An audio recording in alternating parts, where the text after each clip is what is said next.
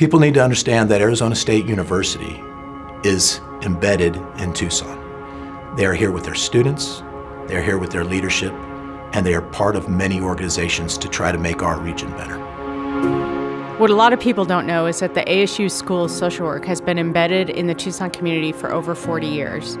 This vibrant program is wholly invested in creating the next change makers that can make this community thrive. We have several different national social service agencies that are actually based here in Tucson due to having this part, the, the, uh, the school social work from ASU, contribute to our workforce. But more importantly, we have a higher quality of care for social service uh, in the entire continuum, everything from families in crisis to elderly and, and, geriatric care. And I think that continuum that exists in Tucson has improved the pro, uh, quality of life for our community. And we, we owe that to the School of Social Work. Having ASU and Dr. Crow as a member of the Southern Arizona Leadership Council has opened a lot of doors for us.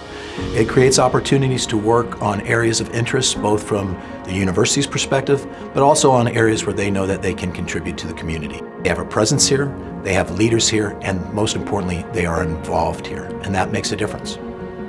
So the Thrive in the 05 initiative was started about three years ago. It's a, a cluster of, of adjoining neighborhoods near the urban core of Tucson that are historically and culturally rich, but um, have been suffering from really decades of disinvestment. One of our initiatives in response to the pandemic, um, we call the Helping Hands Care Packages. We've done several distributions to the Tucson House.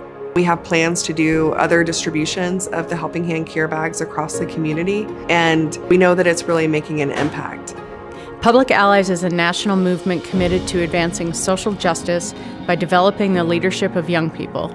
Tucson Allies are working in economic opportunity, environmental stewardship, health, and education. Like I was three months in and I realized kind of like what it meant.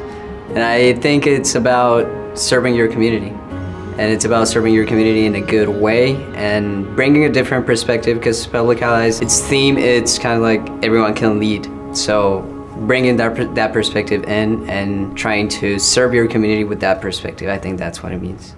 Not only does ASU help on the social services continuum, but they're also helping us in efforts for sustainability, climate change. It's not just limited to social services. And I think that's what makes it such a great partner. Tucson has had a remarkable turnaround in its economy in the last five years. There's one thing that is separating us from other markets, and that is our ability to uh, produce engineering talent. ASU is involved in our Talent Attraction and Retention Task Force. That task force partners and aligns our private sector businesses like Raytheon and the other 400 aerospace and defense companies in southern Arizona to the engineering talent it so desperately needs. There's absolutely no doubt that universities are talent factories, and leading that charge is Arizona State University. They are a great entity in driving talent, uh, producing talent for tomorrow's economy.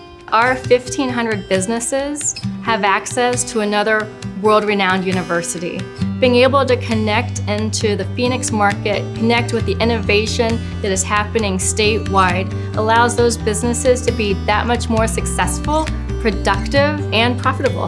The one thing I want people to know about ASU is, especially people that have been in Arizona a long time, it's not the school you thought of in the 1970s or 1980s. This is a university that is cutting edge, that's helping drive the world uh, for tomorrow. Uh, they're innovative, willing to, to create partnerships with any industry. ASU is a partner in the community. We work with nonprofits, we work with corporations, we work with local municipalities. I think ASU is doing a great job engaging with the Tucson community. I really see the nonprofit sector growing so much in Tucson because of Public Allies and because of the work that all the allies are going to be doing.